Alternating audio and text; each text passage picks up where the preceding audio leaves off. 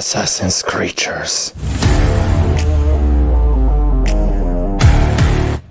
So, this is the topic of today's video. This is the Platymeris biguttatus, also called the two-spotted assassin bug or the white-eyed assassin bug. Those guys are venomous, so yeah, they inject venom with their saliva through a beak.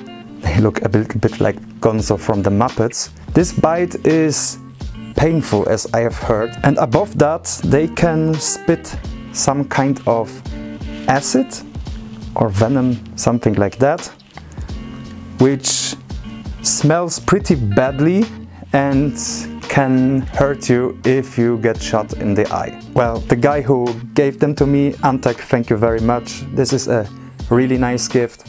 I always wanted assassin bugs.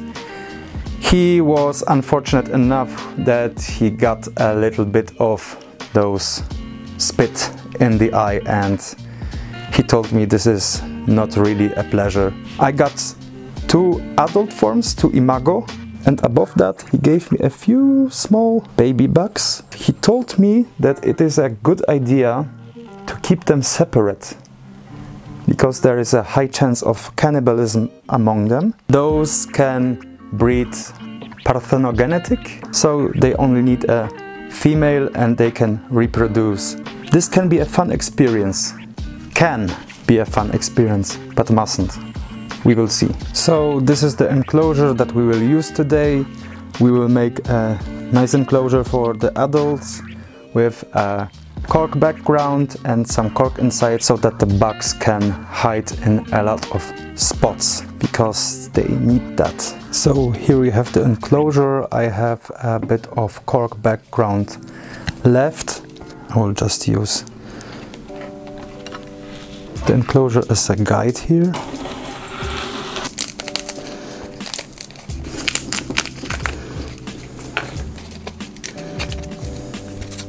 Okay, let's see if any hot glue is needed.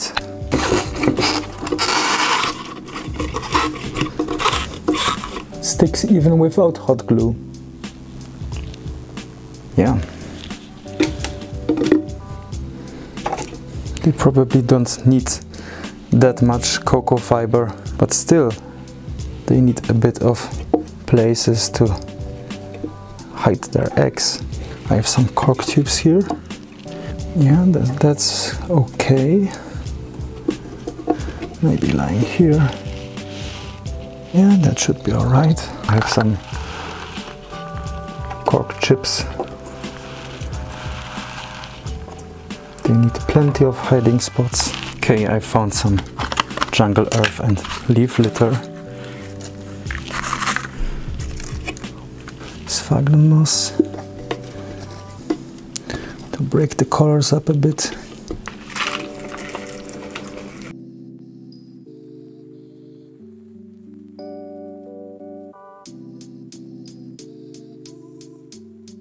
Let's get to the stars of the show.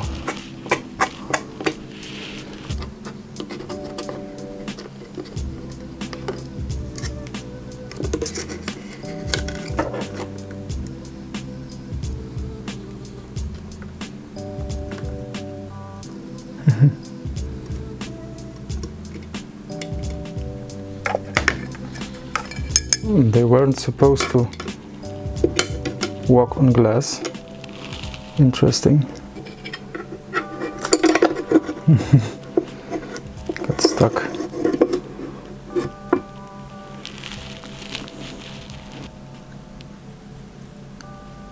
Amazing. Absolutely beautiful box.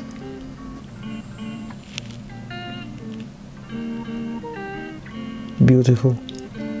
Yeah, sure, they cannot walk on glass. So let's get to the small assassin bugs. Here are just a few. They are not very big. I hope they can't run on plastic enclosures.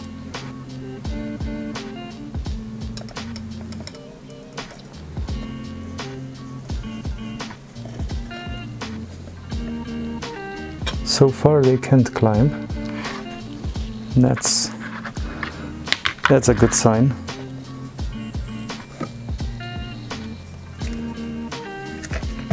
Oh. Really? Okay. Some bad performance for me. Okay, I'll catch them in those small slimples. Should be better. Got one.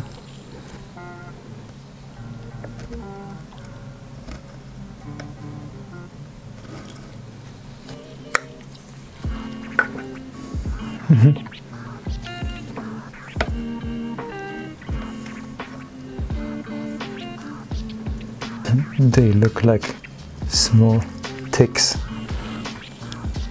Small, small little ticks.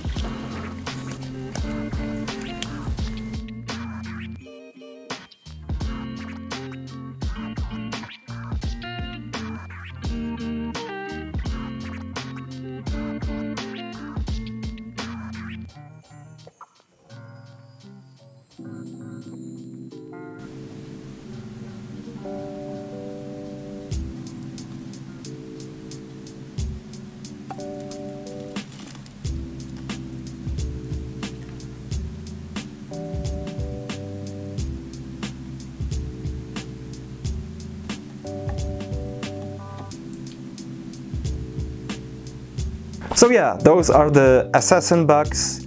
I am really happy that I finally got those.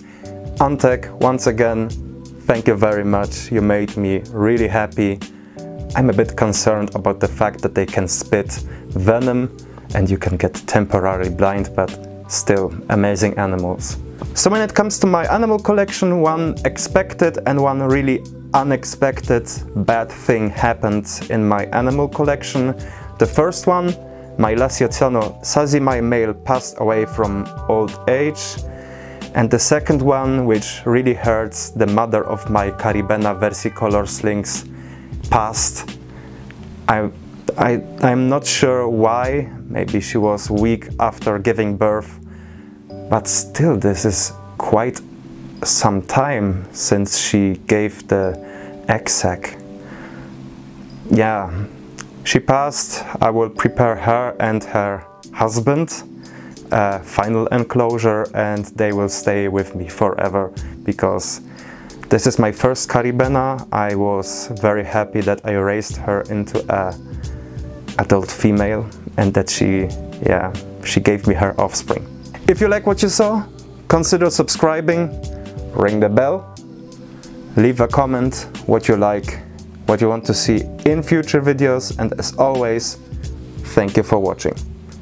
Tarantuhalla out.